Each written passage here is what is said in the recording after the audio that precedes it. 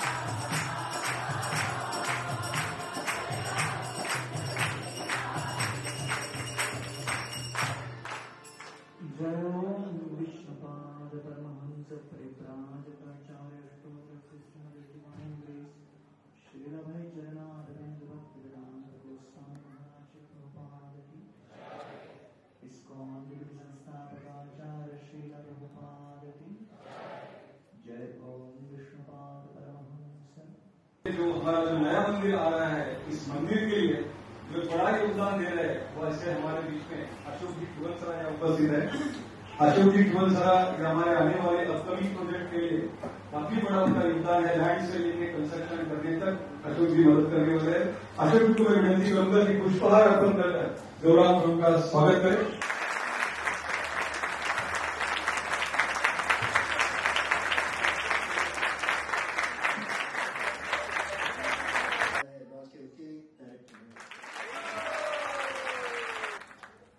अशोक जी का भी हम के स्वागत करना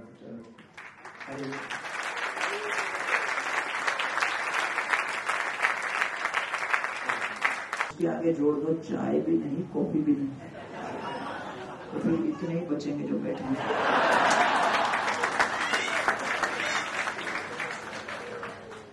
तो इसलिए जब हम सत्संग में लोगों को निमंत्रण देते हैं ये आपकी परिस्थिति परिवर्तन के लिए नहीं, ये आपकी चेतना के परिवर्तन के लिए। बहुत ही दुर्लभ है ये सत्संग और आप लोगों का नियम था कि जो एक माला करेगा, उसको हफ़्ते में दूसरे दिन जाके हॉस्टल में प्रसाद दे के आओगे तो आप मेरे कमरे में आते थे, लड्डू देने याद आया? बराबर याद आया। ये भी याद आया कि मैं तुमको बहुत प्रयास किया एक माला से आगे बढ़ने का। लेकिन कभी एक माला के आगे नहीं गए, ये बोल के कि एक माला में ही प्रसाद मिल जाता तो आगे क्यों करें?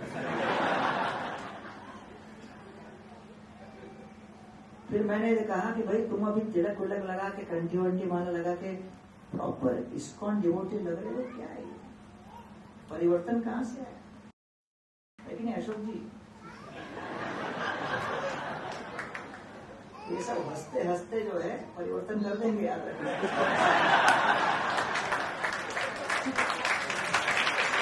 जीवन का लक्ष्य क्या है ये सब हम क्यों कर रहे हैं तो 1992 में मैं उसको प्रचार करता था 2006 में उन्होंने दीक्षा ले ली तो मैंने कहा कभी कभी प्रसाद को भी चौदह साल लगता है पचने के लिए तो जिस व्यक्ति ने इस जीवन में भगवत भक्ति को श्रद्धा पूर्वक स्वीकार किया। समझना चाहिए कि उन्होंने पूर्व काल में कई कई भक्तिमय पुण्यों का संचय किया है। क्या लालसा है तुम्हारे मन में प्रहलाद? एवं जन्म निपतितम प्रभवाहि कूपे। अरे मैं हर प्रकार के असुर लोगों के संग में आकर उन जैसे इंद्र तृप्ति के कार्यक्रमों में पूरी तरह अपने इंद्रियों को निमग्न करके नरक के मार्ग पर अग्रसर हो रहा था। शत प्रतिशत नरक में ही प्रवेश करने वाला था। कामाभिकाम मनुय प्रपत प्रसंगात। कलयुग में किसी भी जीव के ऊपर सबसे अधिक शक्तिशाली प्रभाव अगर होता हो, वो है संग का। जैसा संग ऐसा रंग। जैसा हम संग करेंगे, प्रभाव भी वैसा ही होगा। वयम धन्यतमा लोके गुरोपि क्षत्र बांधव वयम पिबाम मुहुस्तत्त पुण्यम कृष्ण कथामृतम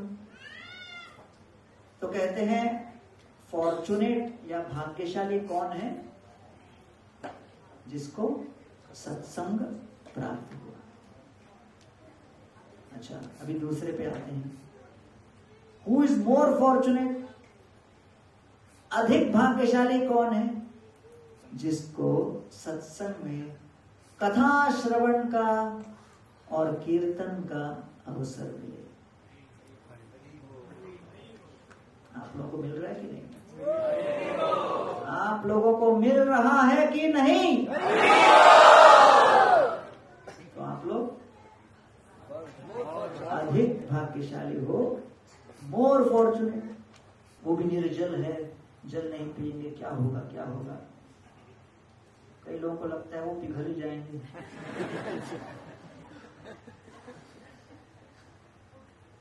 तो आठ दस ब्रह्मचारी थे धम धम धम धम सब गिर गए। मैं भी अंदर आया, देखा, अरे, सात आठ ऑलरेडी गिर गए। तो मैं भी इंस्पायर हो गया।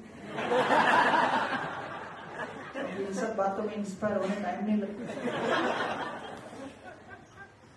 तो मैं भी गिर गया और लेटकर बस आँखें बंद ही करने वाला था। अचानक राधानाथ महाराज प्रवेश कर गए आश्रम में। बिल्कुल अनएक्सपेक्टेड था। यूजुअली आते नहीं ऐसे। मैंने कहा आज कैसे आ गए? तो मैं खड़ा हो गया, प्रणाम करने लगा, बोले, ये क्या है? सबको दिखाया, ऐसे लेटे हुए। मैंने कहा जन्माष्टमी है ना?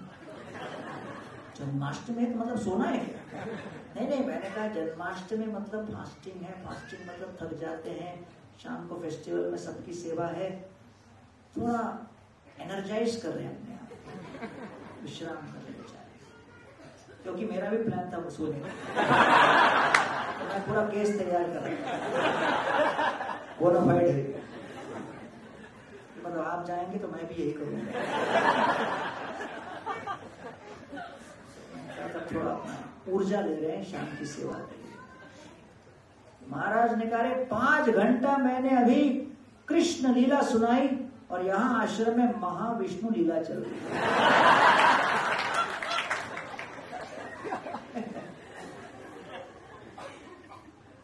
तो जब हम निरंतर श्रवण करेंगे और अतिर वितृष्णा। कथा श्रवण में जो उदासीनता है, वो समाप्त होती है, रुचि जागृत होती है। ये चौथा भक्तिम हरो और पांचवा, तत्पुरुषे च सख्यम जब हम नियमित रूप से श्रवण करते रहेंगे वैष्णव समुदाय में, जिन वैष्णवों के साथ हम बैठकर कथा श्रवण करेंगे, उनके प्रति एक स्नेह, प्रेम और अनुराग की भावना स्वाभाविक रूप से जागृत होगी। अहंकार का प्रभाव हृदय में पिघलने लगेगा। पाप राशि समाप्त होगी। विभिन्न प्रकार के पूर्व जन्मों के कर्मों का पहाड़, भगवान के चरण कमलों के वज्रपात के कृपा के प्रभाव से समाप्त तो होने लगेगा, जर्जर होने लगेगा, चूर्ण होने लगेगा, और तब हम भगवत भक्ति कर वैष्णव समुदाय में प्रेम स्थापित कर पाएँगे। जिसको सत्संग में बारंबार कथा, श्रवण और कीर्तन करने का अवसर मिले, वो है मोस्ट फॉर्चुनेट तो आप में से कितने लोग हैं जिनको बारंबार श्रवण और कीर्तन का अवसर मिल रहा है? हाथ उठाइए। तो आप लोग केवल फॉर्चुनेट नहीं मोर फॉर्चुनेट नहीं? सबसे अधिक सौभाग्यशाली है, जो कि इस मंदिर के माध्यम से हम सबको बारंबार श्रवण और कीर्तन करने का अवसर देते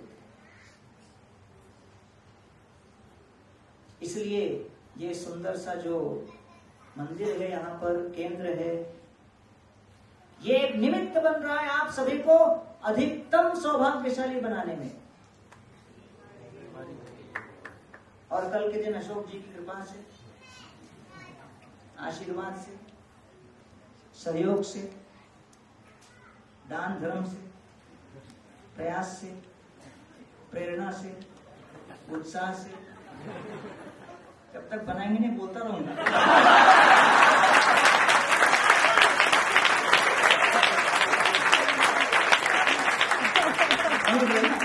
बोल रहे रहे बनाएँगे बनाएँगे बोल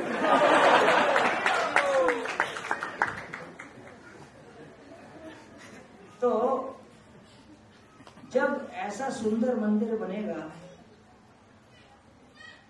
तो ये मंदिर एक ऐसा निमित्त बनता है जिससे जो यहाँ पर श्रवण करने लोग आए उनकी चेतना सुधरती है समर जाती है, अलंकृत हो जाती है। और भोक्तापन के अभिमान का दुर्गंध शुद्ध कृष्ण प्रेम की भक्ति के सुगंध में परिवर्तित हो जाता है। ये वैष्णव सत्संग का प्रभाव है, परिणाम है, शक्ति है। और इसलिए इस्कॉन के मंदिर हम तैयार कर रहे हैं। तो यहाँ पर श्री श्री गौर निताय आप सभी का स्वागत कर रहे हैं उनके इस हरिनाम संकीर्तन के मिशन में सहभागी बनने का और आपके घरों को मंदिर में परिवर्तित करने का और आपके घर को मंदिर में बनाने के लिए आपको केवल तीन कार्य करना है। घर पर कृष्ण नाम लीजिए। कृष्ण नाम लेंगे कि नहीं? दूसरा कृष्ण कथा परिवार के सदस्य बैठकर आपस में चर्चा करें और दिन प्रतिदिन कृष्ण कथा घर में होनी चाहिए। कृष्ण कथा घर में करोगे कि नहीं? और तीसरा, घर में जो भोजन बनेगा, वो बनेगा कृष्ण। कृष्ण प्रसाद बनाएँगे कि नहीं? कृष्ण नाम, कृष्ण कथा, कृष्ण प्रसाद। ये तीन पहलू को आप अपने जीवन में जोड़ लीजिए, अपने घरों के अंदर इसको प्रवेश दीजिए। आपका घर चाहे वन बी के हो, टू बी के हो, थ्री बी के हो, फाइव बी के हो।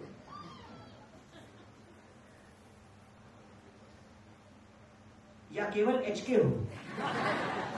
जो भी हो।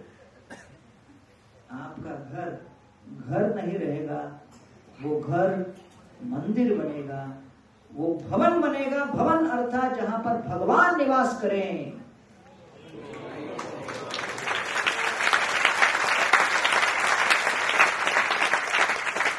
को परिवर्तन करने का केंद्र है। आपके सोच विचार करने की शैली में क्रांति मचाने के लिए ये केंद्र है। और ये परिवर्तन, ये क्रांति शब्द ध्वनि के माध्यम से की जाती है। और ये शब्द ध्वनि कथा और कीर्तन के रूप में आपके जीवन में प्रकट तो उपस्थित इस्कॉन विशाल नगर के समस्त भक्त समुदाय को मैं कोटि कोटि धन्यवाद देता हूँ कि आप लोग अपने जीवन में हरिनाम संकीर्तन को प्राथमिकता दिए। शिल प्रभुपाद के इन शिक्षाओं को अपने जीवन में उतारने का प्रामाणिक रूप से प्रयत्न कर रहे हैं। घर पर प्रसाद वितरण हो रहा है। सत्संग करते हुए आप सभी लोग निष्कपट भाव से भक्ति करने का प्रयत्न कर रहे हो। और अशोक जी का मैं बहुत आभारी हूँ कि आप लोगों ने इस्कॉन के विशाल नगर के भक्त समुदाय के लिए मंदिर बनाने की एक सुंदर योजना तैयार की। और मैं कनाई ठाकुर प्रभु और उनके समस्त टीम का बहुत आभारी हूँ कि आप लोगों ने इतना सुंदर आध्यात्मिक नेतृत्व करके यहाँ हज़ारों हज़ारों भक्तों और जीवों के लिए भक्ति के लिए आशा की किरण जागृत की है। और मैं आशा करता हूँ कि मेरा अगला सत्संग यहाँ के भव्य नवीन मंदिर में होगा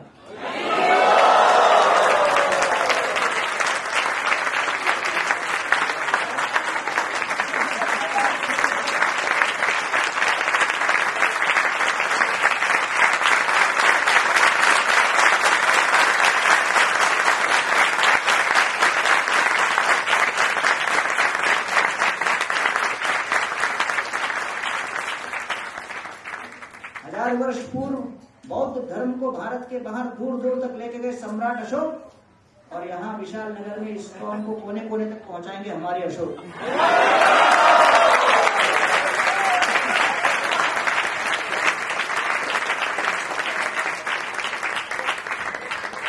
तो ठाकुर प्रभु जो कि आज ऑनलाइन देख रहे हैं, वो भी अवश्य मुस्कुरा रहे होंगे। प्रणाम करता हूँ। और आप जहाँ कहीं भी हो, अमेरिका में, आशा है कि आपके प्रेरणादायक नेतृत्व इस्कॉन के विशाल नगर भक्त के लिए एक आशा की किरण बन के रही है। और मैं श्री श्री राधा गोपीनाथ जी, वृंदावन बिहारी, वृंदावन चंद्र, मदन मोहन जी, सभी से यही प्रार्थना करता हूँ कि आप सभी को भगवान असीमित मात्रा में उत्साह बनाए रखें, जिससे कि दिन दूने रात चौगने आपकी भक्ति बढ़ती चली जाए और आपका जीवन सफल हो। बहुत बहुत धन्यवाद।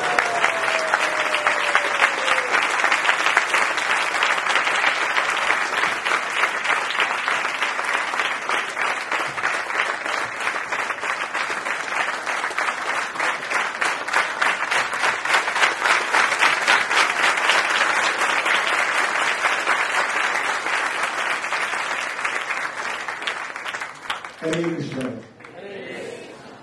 तो हम श्रीमान गौरांग प्रभु जी का धन्यवाद करते हैं हमें हमें आज उन्होंने हमें आज मार्गदर्शन किया कि कैसे हम अधिकतम सबसे अधिकतम सौभाग्यशाली बन सकते हैं तो एक बार हरे कृष्ण महामंत्र अ, बोल के उनको धन्यवाद देते हैं हरे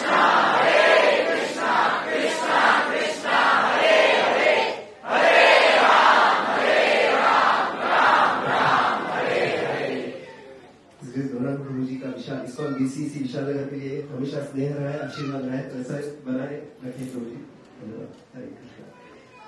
तो अभी अगला कार्यक्रम एक दो मिनट का वीडियो चलेगा, और उसके बाद हरे कृष्ण। तो हम श्रीमान गौरांग प्रभु जी का धन्यवाद करते हैं। हमें हमें आज उन्होंने हमें आज मार्गदर्शन किया कि कैसे हम अधिकतम, सबसे अधिकतम सौभाग्यशाली बन सकते हैं। तो एक बार हरे कृष्ण महामंत्र बोल के उनको धन्यवाद देते हैं। हरे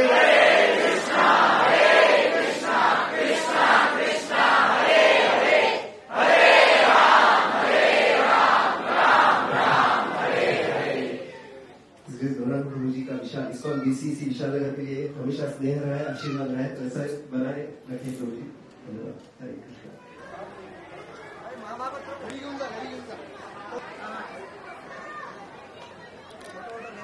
दो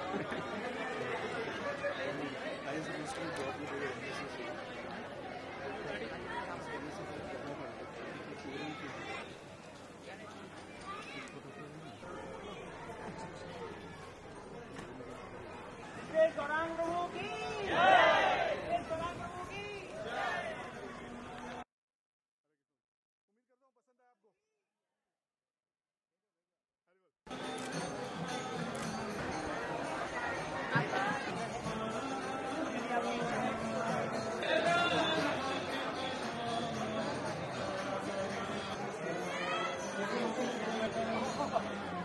सोल दो अलग अलग